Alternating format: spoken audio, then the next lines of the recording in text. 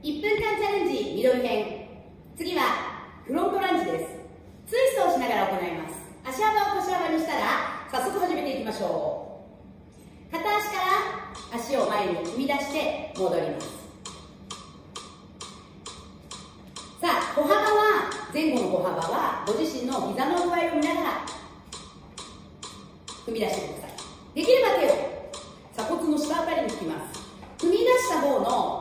足の方に体の向きを向けていきます呼吸を吐けるといいです。どうですかできそうだったら肘が完全に前と後ろを向くぐらい。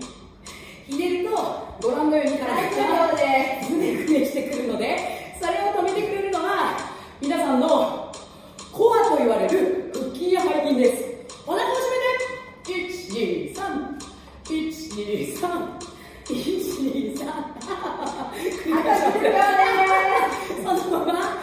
いいんです。めくれてお切りしたい。